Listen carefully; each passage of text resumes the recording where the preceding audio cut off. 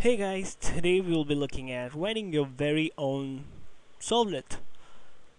Okay, I'll be honest with you. When I started out with Java, I was really, really skeptical of the servlet concept because I started out five, yeah, five years ago understanding servlets, and that back then we did not have such a beautiful IDE we used to code in Notepad and we had Apache Tomcat to run on, and it was horrible.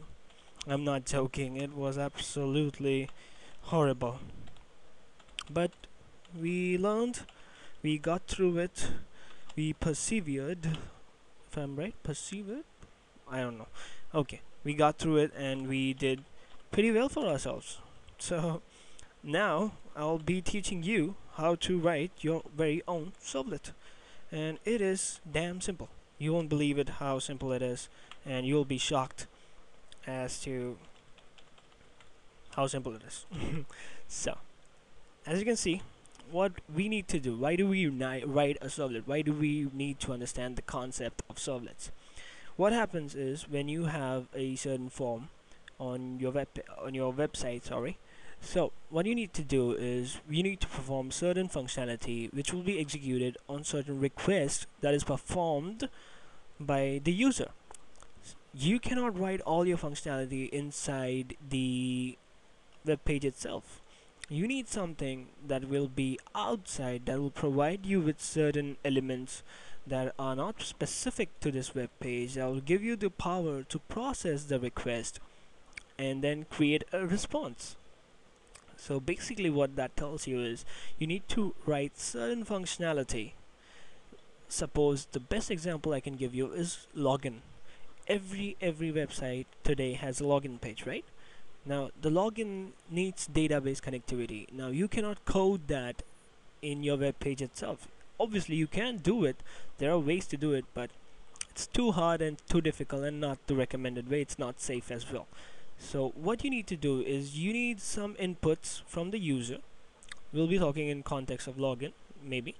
So you take the inputs from the user and then you need a certain class or certain thing which will be outside this index index.jsp and it will process it and then it will show you the results. Simple enough. So one way to do it is to write a servlet now, as you may or may not know, every JSP page eventually is a servlet. That's right. I am not joking you, that is the truth. When you have a container, a server, which will execute your JSP page, every every server which runs the JSP website has a servlet container contained within it inside which your JSPs are converted to servlets and then executed.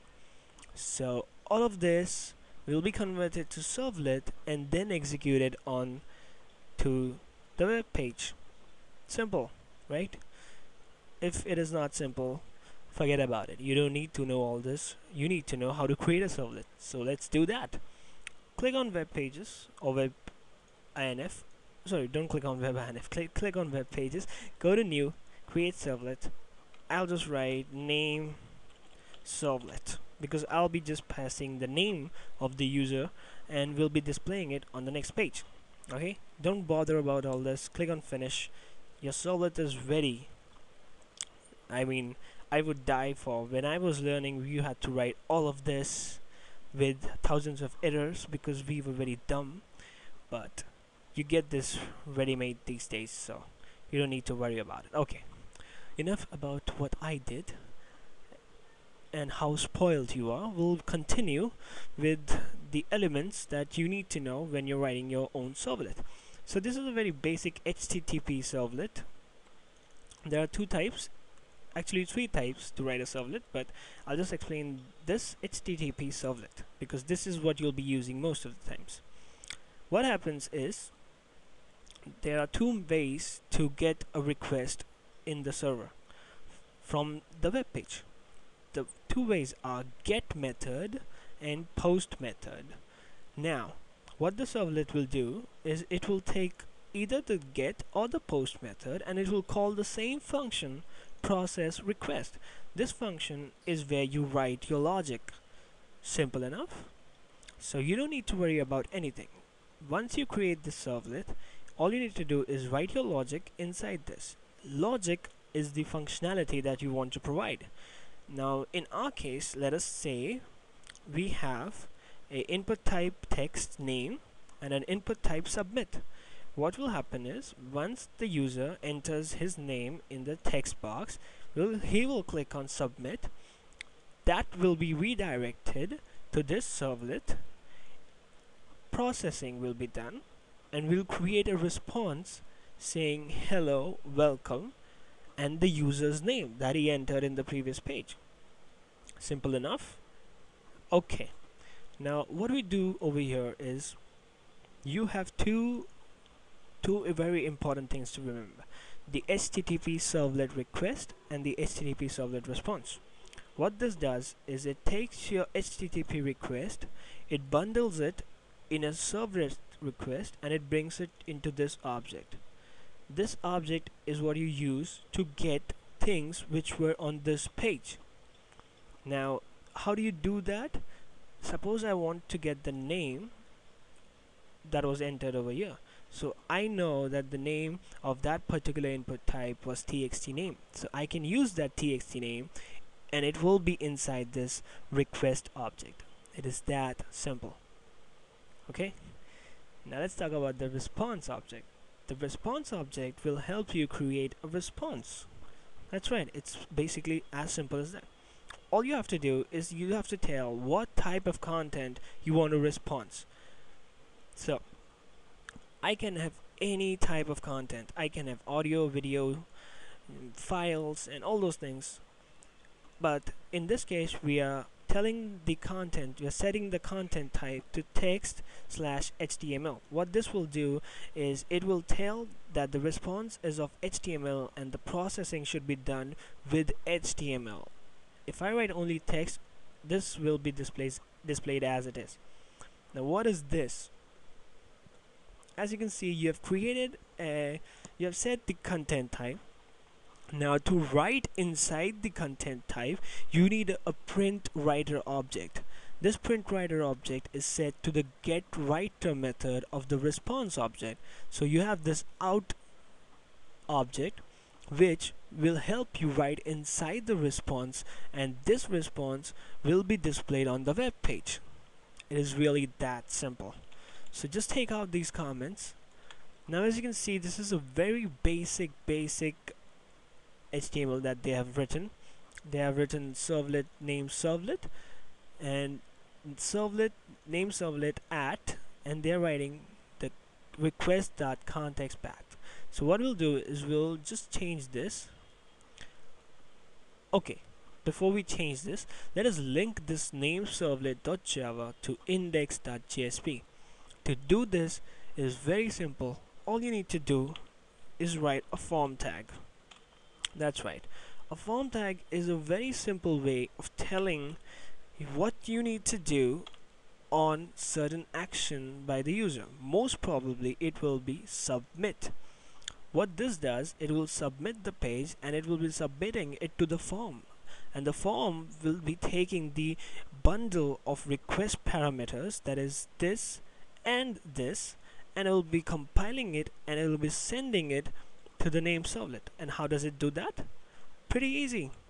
Just write action and the name of your servlet that's right. It's as simple as that. And you just need to specify the type. By default it is the get method which is used but I say I want to use the post method. So you have your name servlet and your post method. Now what we need to do is we need to take this txt name and then display it in our servlet simple enough. I just say welcome user. And we just write the name. How do you get the name? As I told you before the name will be encompassed within the request object so you get parameter. And I just specify the name of the input type which we required on our first page. So this will take this parameter with this name find it in this page. It'll take the text of it return the string which is inside that particular txt name and it will print it. How simple does that sound my friends? Is that simple? So just click on sorry just press shift F6 it'll run the index.jsp we'll have a demo we'll see if it runs or not. It should run. As I said before it will. Okay I'll just write in my name. Click on submit. Welcome user. That's my name. So it was that easy. So what are the things that you need to remember? You need to write a form tag which will take your servlet's name and link it with your particular web page.